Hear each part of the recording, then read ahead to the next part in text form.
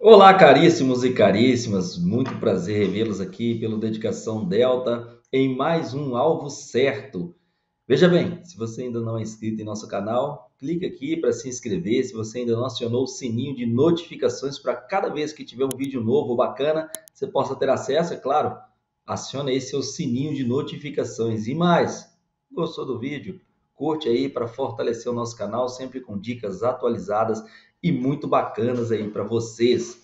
Pois bem, eu sou o Gleison Lima, sou delegado de polícia e coordenador aqui do Dedicação Delta e tenho a honra de apresentar a vocês sempre algum conteúdo relevante dentro do alvo certo e hoje vamos falar de algo muito aí comentado, efervescente, seja em termos de lei, seja em termos de doutrina, seja em termos de jurisprudência, e é nada menos do que falar um pouco sobre organização criminosa, associação criminosa, associação para o tráfico, estabelecer a diferença entre um e outro e também para que você possa aí estar tá fazendo estas distinções na hora de uma eventual prova para concurso público. É isso mesmo. Você pegando cada um dos detalhes aqui, é certo que você consegue aí ter uma visão completa e angariar uma ou outra mais questão que é suficiente para que você possa muitas vezes estar galgando o tão sonhado cargo público. Sem mais delongas, eu gostaria hoje de apresentar para vocês aqui, vou dividir minha tela com vocês, sobre organização criminosa. É muito importante quando a gente fala de ORCRIM, organização criminosa está previsto na lei 12.850 do ano de 2013 nós vamos falar de associação criminosa, que é um dispositivo que está previsto dentro do artigo 288 do Código Penal. E nós vamos falar também de associação para o tráfico, que está previsto no artigo 35 da Lei 11.343 do ano de 2006. Beleza, temos cada uma dessas legislações aqui um ponto diferenciado. Cada um artigo, cada um dispositivo vai ser diferente um do outro. É exatamente isso que eu gostaria de desmistificar com vocês hoje numa aula muito rápida, muito breve, tá bom? Então vamos lá. Quando a gente vai falar de associação criminosa, de organização criminosa, de associação para o tráfico, nós estamos falando de uma coisa muito diferente uma da outra, mas, mas nós estamos falando de uma situação que é ligada ao que a gente chama de concurso necessário de pessoas. Traz para mim. Vamos lá, gente. Olha só. Quando eu estou falando de concurso de pessoas, ou esse concurso vai ser eventual de pessoas, ou esse concurso vai ser necessário de pessoas. O concurso eventual de pessoas vai acontecer quando o eventual crime pode ser praticado por uma só pessoa. Só que, eventualmente, alguém poderá se agregar àquela outra pessoa para compor o concurso de pessoas e ali sim duas ou mais pessoas praticarem aquele crime. Vamos lá. Um crime de homicídio pode ser praticado por uma só pessoa? Sim. Veja que nós estamos falando do autor do crime. Agora, o crime de homicídio esse sujeito que é o autor do crime pode contar com um coleguinha para praticar aquele crime? Pode. Será que ele pode estar com mais dois coleguinhas para praticar aquele crime de homicídio? Também pode. Então veja que num crime de homicídio, a gente fala que ali, eventualmente, tendo duas ou mais pessoas praticando aquele crime, nós estamos diante de um concurso eventual de pessoas. Ao passo que existem tipos penais que o próprio tipo, o próprio delito vem escrito.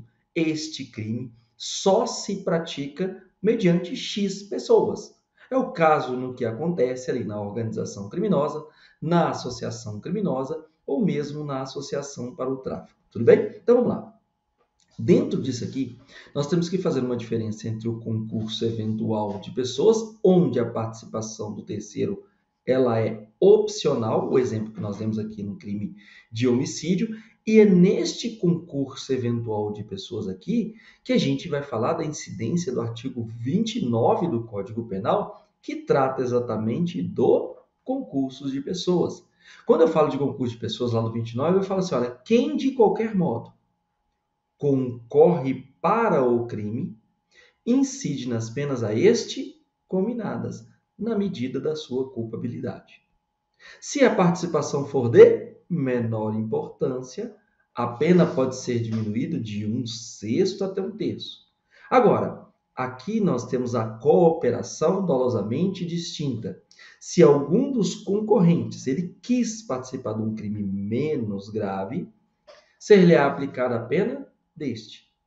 Esta pena vai ser aumentada de até metade na hipótese de ter sido previsível o resultado mais grave. Tudo bem, volta aqui para mim. Então, estamos diante do concurso de pessoas do artigo 29 e só posso falar de concurso pessoas do artigo 29 se e somente se eu estiver diante de um concurso, de um crime de concurso eventual. Ou seja, se aqui eu volto e falo de concurso eventual, eu posso falar do artigo 29. Agora, e quando é o concurso necessário de pessoas? Eu não posso falar do artigo 29. Tudo certo? Vamos lá então. O concurso necessário de pessoas é essa lei, é o dispositivo, é o código, é o tipo penal, é a lei especial que vai estabelecer que a participação de mais de uma pessoa para a prática de infração penal vai configurar o delito. Por exemplo, organização criminosa. Eu preciso de pelo menos quatro pessoas. Já estou adiantando a matéria, hein? Associação criminosa, eu vou precisar de pelo menos três pessoas. Associação para o tráfico, eu vou precisar de pelo menos duas pessoas. Vejam aqui que é sempre uma escadinha, né? 4, 3, 2. Organização criminosa 4, associação criminosa, que é lá do Código Penal 3, e associação para o tráfico 2. Pois bem, uma coisa importante para a gente observar é a ligação que a gente vai ter aqui entre os crimes unissubsistentes ou monossubjetivos e os crimes plurissubjetivos, tá bom? Quando eu falo de crimes unissubjetivos, olha só, eles podem ser praticados por uma só pessoa ou por mais de uma pessoa. Nós não demos exemplo de, do homicídio, só que o que nós fizemos? O crime é unissubsistente, mas poderá haver um concurso eventual de pessoas. Viram a diferença aqui? Ou seja, quando eu tenho um delito unissubsistente, unissubjetivo, falei unissubsistente, não, né? Nós estamos falando de atos, aqui nós estamos falando, aqui ó, esse aqui pode ser praticado por uma subjetivo, pessoa, tá? Uma só pessoa ou por mais de uma pessoa. Nós temos o exemplo do homicídio para o concurso eventual de pessoas. Então, uma ligação que vocês podem fazer é o seguinte: o crime pode ser unissubjetivo.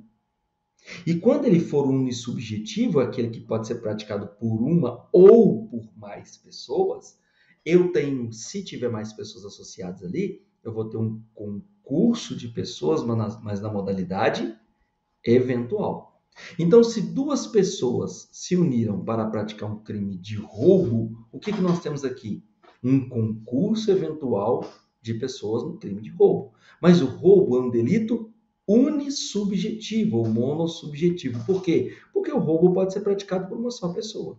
Inclusive, a majorante do roubo é circunstanciado, tendo em vista para ter sido praticado por mais de uma pessoa, né? duas ou mais pessoas. O furto também ele pode ser praticado somente uma pessoa, foi ele furtou algo de alguém. Mas se ele for praticado por duas ou mais pessoas, nós vamos ter uma figura qualificada do delito de furto. Sacaram o movimento? O crime de homicídio é a mesma coisa. Assim como o crime de estupro, famoso 213, né? Qualquer um, seja um homicídio, seja um estupro, pode ser praticado por uma só pessoa. Portanto, é um delito unissubjetivo. Beleza? Agora, ele pode ser praticado por duas ou mais pessoas? Sim, tanto o homicídio quanto o estupro, eles podem ser eventualmente praticados por duas ou mais pessoas. E se esses crimes que podem ser cometidos por uma só pessoa, eles vierem a ser praticados por duas ou mais pessoas, eu tenho uma consequência de o quê? Concurso eventual de pessoas atraindo o artigo 29 do Código Penal. Sacaram o movimento aqui? Então volta para mim, vamos lá. Crimes plurissubjetivos. Os crimes, crimes plurissubjetivos só podem ser praticados por duas ou mais pessoas. Entenderam que aqui, se eu tenho mais pessoas nos plurissubjetivos, eles necessariamente vão ser de concurso necessário de pessoas. Viram aí? Eu tenho exemplos, portanto, tanto de uma associação criminosa, da rixa, da organização criminosa, da associação para o tráfico, ou seja, são delitos em que eu preciso de ter mais pessoas para que eles sejam praticados. Aqui nós falamos duas ou mais, mas nós temos que ver o tipo penal. Orcrim, que nós já falamos, quatro ou mais. Associação para, para o tráfico, duas ou mais pessoas. E associação criminosa, três ou mais pessoas. Fechou? Vamos lá. Gente, vamos lembrar que é muito essencial, volta para mim aqui, que esse aqui é um ponto nevrálgico. Quando eu tenho um delito unissubjetivo ou monossubjetivo, e que ele eventualmente foi praticado por duas ou mais pessoas e eventualmente veio de propósito, nós temos ali um concurso eventual de pessoas. Fechou? Então, ali nós já sacamos o movimento. Se eu tenho esse concurso eventual de pessoas, se eu tenho esse concurso eventual de pessoas, eu vou puxar a incidência do artigo 29 que fala concurso lá de agentes, tudo bem? Porém, ele tem requisitos para os concursos de agentes. Quais são os requisitos para que eu tenha um concurso de pessoas ali? Pluralidade de agentes, mais do que um, né? Dois ou mais. Pluralidade de condutas, relevância causal de cada conduta, vínculo ou liame, ligação subjetiva entre os participantes. Isso aqui é muito, muito, muito importante. Por quê? Porque um ou combinou com o outro de praticar essa infração penal, ou aderiu à ideia daquele outro de praticar aquela infração penal. É só assim que nós podemos falar de concurso de pessoas. Por isso que a autoria colateral não é considerada um concurso de pessoas. E o que seria autoria colateral em exemplo prático? duas pessoas tinham vontade de matar um terceiro. O A e o B tinham vontade de matar o C. O A, sem saber do B, se posiciona num determinado local para poder matar o C. O B, também sem saber do A, se posicionou em, outro local para matar o C. Quando, eles, quando o C vem a passar, A e B, vamos supor, atiram disparam uma arma de fogo contra o C. Qual é a consequência que eu tenho disso aí? A e B praticaram um crime sem estar em concurso de pessoas, porque eles não têm vínculo ou liame subjetivo um com o outro, e vai ali e pratica aquela infração penal. Tudo bem? Por isso que a autoria colateral, que esse exemplo que eu acabei de dar, não é concurso de pessoas. Tá bom? Por último, nós temos também como elemento do concurso de pessoas a identidade de infração penal. Isso aqui vai ter uma ressalva a depender da teoria que a gente vai aplicar. Isso por quê? Porque, por exemplo, o crime que a gente chamou de unissubjetivo ou monossubjetivo, vamos colocar o homicídio. Aí, vamos imaginar que o A e o B resolveram praticar um homicídio contra o C. Eles juntaram, organizaram e tudo mais. Os dois vão responder pelo que, gente? Por homicídio. Beleza?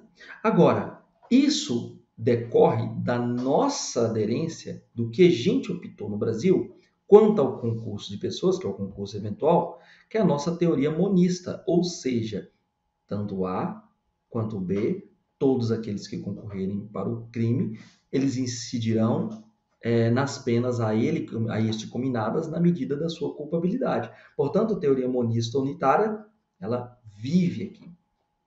Tudo bem? Agora, nós temos uma exceção, exceções pluralistas e também alguns falam até mesmo dualistas? Sim, e é nisso que nós vamos falar agora. Vamos lá.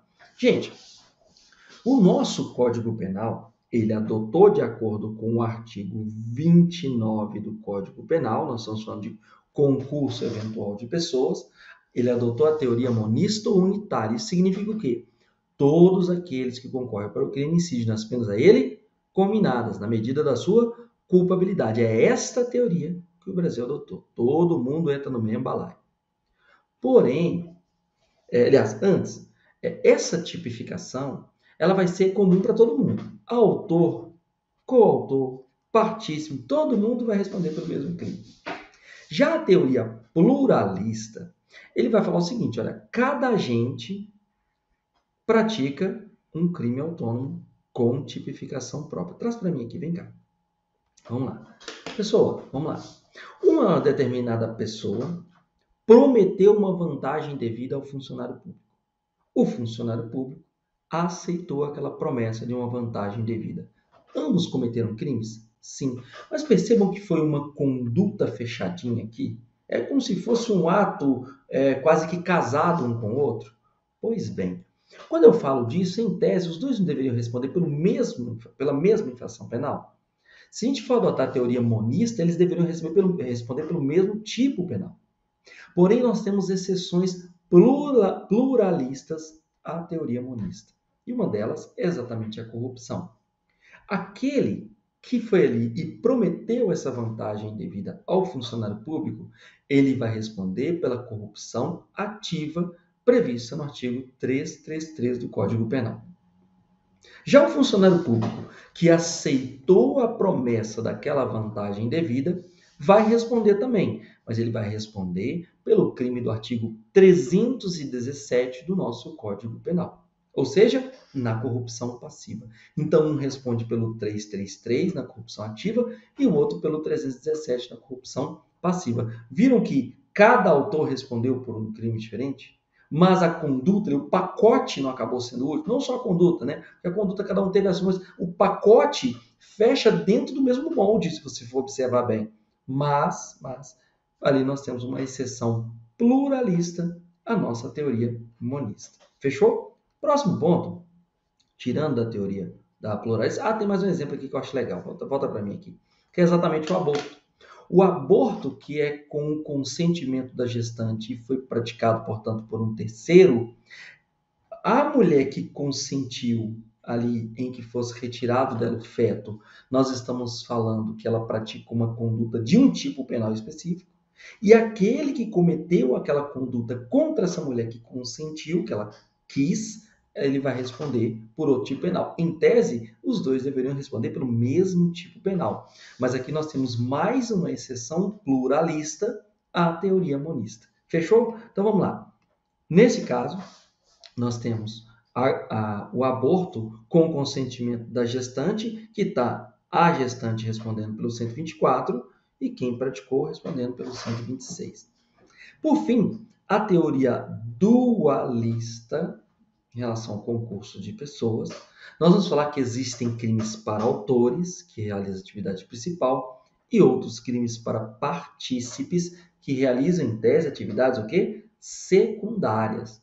Existe quem defenda aqui que nós temos é, esta teoria dualista no Brasil, tanto onde a gente fala de participação de menor importância, ali no artigo 29, parágrafo 1 Tá? Ou então no que a gente chama de cooperação dolosamente distinta, que é quando algum dos concorrentes ele quis participar de um crime menos grave. Esse último tipo aqui é interessante, é como se fosse, por exemplo, eles resolveram entrar para praticar um crime de furto numa determinada residência.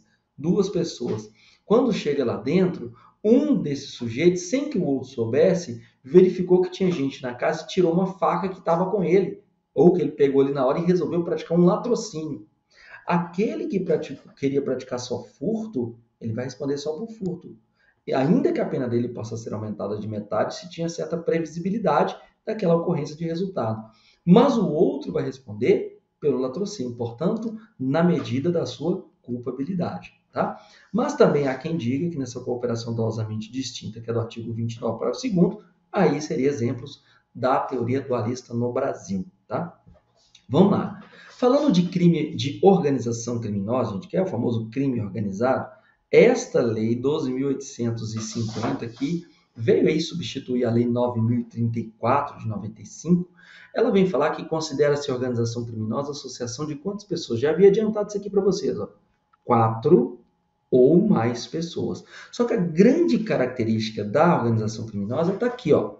Essas quatro ou mais pessoas, elas estão estruturalmente ordenadas e caracterizada pelo quê? Pela divisão de tarefas ainda que informalmente, com o objetivo de que obter direto ou indiretamente qual tipo de vantagem? Vantagem de qualquer natureza. Mediante a prática de quê? De infrações penais cujas penas máximas sejam superiores a quatro anos ou que sejam de caráter transnacional. Tudo bem? Então, saquem aqui que essa vai ser a diferença que nós vamos fazer em relação às outras, aos outros crimes que nós vamos ver por aqui. Não basta quatro ou mais pessoas. Tem que ser uma estrutura organizada, tem que ter divisão de tarefas, mesmo que informal, tem que buscar vantagem devida mediante a prática de infrações penais, com penas máximas. Sempre lembra disso aqui, gente. Penas máximas superiores, maiores do que quatro anos. Lembrar da matemática agora, né? Sinal de maior. Vamos lá. E o crime da organização criminosa? Qual é o crime da organização criminosa? É aquele que promove, aquele que constitui, aquele que financia ou aquele que integra pessoalmente ou por interposta pessoa a famosa ORCRIM, que é a organização criminosa. Peninha, gente, é penal, 3 a 8 anos e multa sem prejuízo das penas correspondentes às demais infrações penais praticadas, tá? Agora, vamos lembrar que nas mesmas penas vai incorrer quem impede ou de qualquer forma embaraça a investigação de infração penal que envolva organização criminosa. Tivemos até um julgado do STF sobre o tema e referendou que esse parágrafo primeiro é constitucional e constitui de fato um dos crimes ali é, que vão ter a mesma pena da própria ORCRIM, tá bom? Vamos lá. Quando a gente vai falar de ORCRIM, o interessante é que o pará... artigo 2 parágrafo 2 da Lei de Organização Criminosa vai falar que as penas vão se aumentar até metade. Veja que a pena já é de 3 a 8. A pena pode aumentar até metade. Se essa organização criminosa tiver emprego de quê? Arma de fogo. Tá? Agora, a pena vai ser agravada para quem tem comando individual ou coletivo dessa organização criminosa, mesmo que não pratique pessoalmente os atos de execução. E nós temos uma outra causa de aumento de pena. Traz para mim aqui, pessoal, cuidado, tá? Uma coisa é agravante, outra coisa é causa de aumento de pena, isso aqui é dosimetria da pena, tá? Causa de aumento de pena é uma coisa, sempre lembra aí, ó, geralmente vai estar exposta por fração, tá?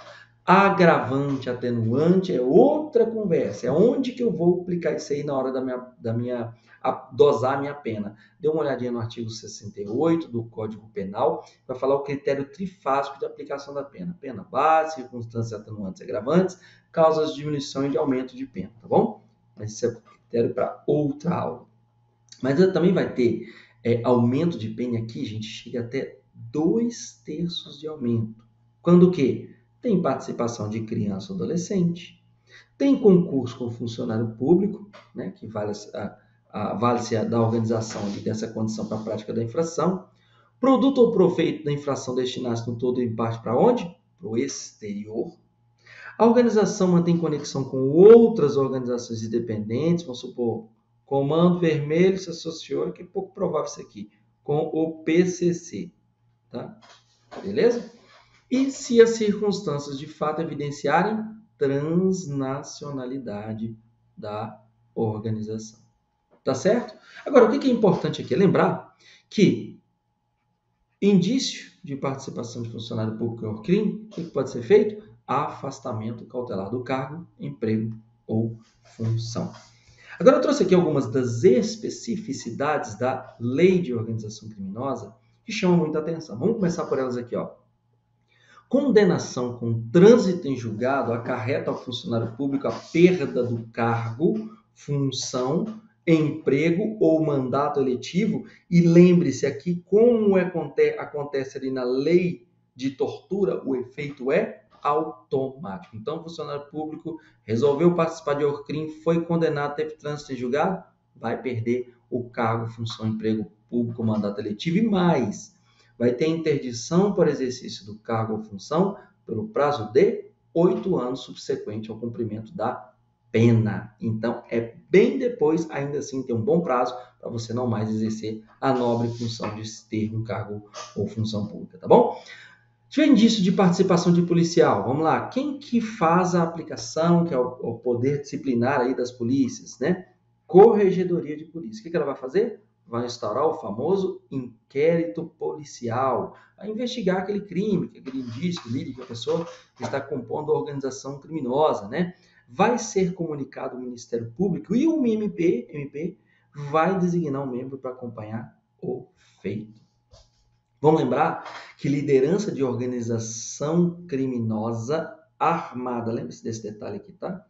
Ou ela é armada ou tem armas à disposição, vai iniciar o cumprimento de pena e estabelecimento penal de segurança máxima, tá? Não haverá progressão de regime de cumprimento de pena ou livramento condicional ou outros benefícios prisionais se, cuidado com esse se aqui, tá? Se houver elementos probatórios que indiquem o quê? a manutenção do vínculo associativo. E vamos lembrar, por fim, que é crime hediondo crime de organização criminosa, quando direcionado para a prática de quê? De crime hediondo ou equiparado. Tá certo? Vamos avançar aqui e lembrar de outras especificidades? Vamos lá. Alguns dos meios de obtenção de prova importantes. Pessoal, aqui presta bem atenção. A organização criminosa, para se investigar ela, claro que é muito mais complexo, é mais difícil, é mais custoso, portanto, é importante que vocês tenham em mente que para se investigar uma organização criminosa pode ter importantes meios de obtenção de uma prova, para efetivamente lá na frente poder condenar esse sujeito. Vamos dar exemplo de alguns aqui? Na verdade, trouxe todos, né? Vamos lá. Colaboração premiada, captação ambiental de sinais eletromagnéticos, ópticos ou acústicos, ação controlada. Olha, vou te prender depois, daqui a pouco. Né? O policial só olhando de longe, falou, vou pegar toda, todo esse esquema dessa organização criminosa. Tá? Acesso a registro de ligações telefônicas e telemáticas, dados cadastrais em bancos de dados públicos ou privados, informações eleitorais e comerciais, interceptação das comunicações telefônicas e telemáticas, está falando, quais são as informações que você troca, Tá? Afastamento de sigilo financeiro, bancário e fiscal. Infiltração, ó, quase um filme, por policiais em atividades de investigação. Cooperação com instituições e órgãos federais, distritais, estaduais e municipais na busca de provas e informações de interesse da investigação da instrução. Importante lembrar que a gente vai dar uma olhadinha na lei de execução penal que vai estar lá previsto o regime disciplinar diferenciado, é o famoso RDD, que aplicava a presos tanto provisórios quanto condenados e que seu artigo 52 vai gritar para a gente, no seu parágrafo primeiro e segundo, o seguinte, ó, vai ser aplicado isso aqui, o RDD, a esses presos, provisórios ou condenados, sobre os quais recaiam fundados suspeitos de quê? Envolvimento ou participação qualquer título em que? Organização criminosa. Puxa vida, vai colocar os caras lá? É. A associação criminosa também? Sim. Milícia privada também? Sim. Independentemente da prática de falta grave. Perceberam? E a gente lembra, por fim, que é o seguinte: liderança de Orcrim, associação criminosa, milícia, RDD em estabelecimento prisional federal. Portanto, existindo indício de que o preso exerce liderança em organização criminosa, a associação criminosa, o 288 do CP, ou o 289 do CP aqui, a, ou que tenha atuação criminosa em dois ou mais estados da federação, muito fácil, né, se olhar bem, o RDD será obrigatoriamente cumprido aonde? Estabelecimento prisional federal. Vamos lembrar que a progressão de regime em Orcrim vai falar o seguinte, ó, para eu progredir, ó, o cara estava no fechado, vai para o semi-aberto, ou estava no semi-aberto, vai para aberto, ó, 50%. Se o condenado for condenado por quê? O penado for condenado pelo quê? Por exercer comando, seja individual, seja coletivo, de orcrim estruturado para a prática de quê? Crime hediondo ou equiparado. Tá certo? Vamos lembrar mais ainda que agora a associação criminosa, chegamos nela, vamos lembrar que a associação criminosa está prevista no 288. Vimos que a ORCRIM são quatro ou mais pessoas, a associação é o quê? Três ou mais pessoas. Mas qual é o fim? O fim específico é de praticar, cuidado com esse Szinho aqui, ó. Praticar crimes, não importa se é do Código Penal, mas é, tem que praticar crimes. Tanto que a pena é muito diferente. Lá nós falamos de 3 a 8 anos, o crime. Aqui é de 1 a 3 anos. Beleza? Tem que ter três ou mais pessoas. Falou estruturalmente organizada, é, ordenada? Divisão de tarefas? Falou nada disso aqui. Falou que infração penal tem que ter pena superior a 4 anos ou de caráter transacional? Não. Aqui é bem específico. Fim específico de cometer crimes, tá? Vamos lembrar que a pena vai aumentar de metade se ela for armada ou se houver participação de criança ou adolescente. E mais, a Lei 8.072, que é a Lei de Crimes Hediondos, falou no seu artigo 8 o seguinte, a pena vai ser de 3 a 6 anos, olha, aumentou muito, de reclusão, é, quando se tratar de crimes hediondos, ou seja, fiz uma associação criminosa para cometer crimes hediondos, ou qualquer um dos TTT, né? Tortura, tráfico e terrorismo. Vamos lembrar, por fim, também aqui que cabe prisão temporária, prisão temporária 30 dias se for crimes hediondos ou equiparados, 5 dias se não for, mas vai caber, de acordo com a 7960, para a associação criminosa. E, por fim, tem que lembrar que tem que ter estabilidade e permanência para se falar em associação criminosa. Um importante e interessante trabalhar aqui eu falei 289 lá atrás, é o 288A, que a constituição de milícia privada é um delito previsto no Código Penal, mas ele tem um detalhe muito legal aqui, ó. Constituir, organizar, integrar, manter, custear organização paramilitar, milícia particular, grupo ou esquadrão com a finalidade de praticar qualquer dos crimes previstos neste Código qual é a pegada da milícia privada, que já ganhou muito em prova? Crimes previstos neste código. Qual código? Código Penal. Então, é possível constituir milícia privada para tráfico de drogas? Não, porque tráfico de drogas está numa lei à parte, não está dentro do Código Penal. Tudo bem? Vamos para frente? Vamos lembrar aqui que a associação para o tráfico agora é outra coisa. A associação para o tráfico Enquanto a ORCRIM são quatro ou mais pessoas, a Associação Criminosa 288 do CP são três ou mais pessoas, a Associação para o Tráfico são duas ou mais pessoas. E com a finalidade de praticar, seja de forma reiterada ou não, qualquer dos crimes previstos nos artigos 33 caput e parágrafo 1 e 34. Tudo bem? penas de 3 a 10 anos. Então o cara foi lá condenado por tráfico, 33 caput, mas ele estava com mais um, mais uma pessoa. E ali foi demonstrado que havia uma associação, uma certa estabilidade e permanência. Portanto, ali podemos falar de associação para o tráfico? Sim, pelo menos duas pessoas, tá? Vamos lembrar que também vai entrar na associação para o tráfico aquele que o pratica de forma reiterada o financiamento para o tráfico é do artigo 36. Trouxe alguma jurisprudência em tese, só para mencionar aqui, lembrar que a jurisprudência em teses ela é publicada pelo STJ, depende do tema, tá?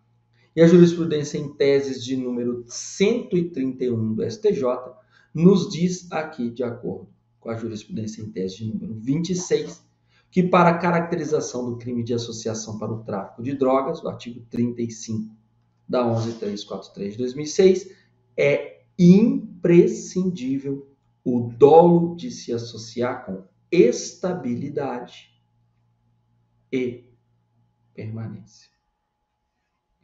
O dolo de se associar com estabilidade e permanência, tá bom? Vamos lá. Na jurisprudência em tese número 131 ainda, a tese 27 falou que para configurar associação para o tráfico é irrelevante a apreensão de drogas na posse direta do agente. Muito importante essa jurisprudência, esse, esse, essa, esse item, né? essa tese da jurisprudência em tese. O 28 falou que essa, esse crime de associação para o tráfico não figura no rol taxativo de crimes hediondos ou de delitos a eles equiparados. Então, vamos lembrar que uma pessoa pode ser condenada pela associação para o tráfico? Sim. Sem que tenha cometido o tráfico de drogas em si?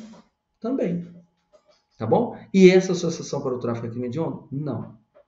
A despeito de não ser considerado hediondo, o crime de associação para o tráfico, no CEF da concessão do livramento condicional, deve pela especialidade, observar a regra do 44, ou seja, cumprimento de dois terços da pena e vedação ao residente específico. Não é porque não é hediondo que não tem que cumprir aquilo que está previsto numa, no próprio dispositivo do artigo 44.